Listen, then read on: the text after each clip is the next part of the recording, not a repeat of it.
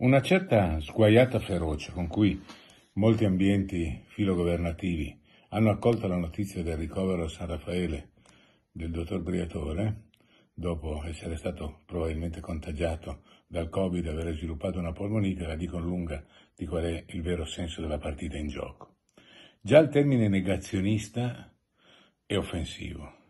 Io credo di essere stato forse il primo che ha gridato l'allarme per questo virus e credo che oggi si debbano fare alcune affermazioni per riaffermare elementi di chiarezza. Il problema non è mascherine sì o mascherine no, o distanziamento sociale sì o distanziamento sociale no, se voi analizzate bene tutti i modi e le forme con cui anche in questo maledetto agosto tutti sembrano essere contagiati, questo elemento ha un fattore comune, ambienti senza ricambio d'aria naturale e ambienti con aria condizionata. Nessuno vuole guardare nei filtri dei treni, degli aerei, degli aeroporti, dei supermercati, delle discoteche, degli alberghi, degli hotel. Nessuno vuole capire che soltanto in questi ambienti dove l'aria non ha circolato e dove quest'inverno forse circolerà ancora meno sono il vero pericolo. Però questo nessuno si può dire. Questo nessuno lo può dire fino in fondo perché ci sono troppi interessi in gioco.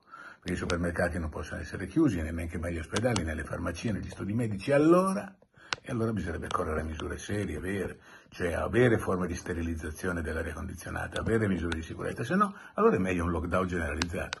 Ritorniamo alla preistoria, torniamo a un tempo fuori da ogni tempo, non accettiamo l'idea che c'è il rischio di ammalarsi come è stato sempre per qualsiasi virosi e invece continuiamo a buttare tutto in politica o peggio ancora in malgusto, in cattivo gusto e in ferocia come nel caso di Briatore. Però nessuno vuole dire la vera verità e questo è molto triste e le menzogne sono insopportabili. Buona giornata per fatti disfatti.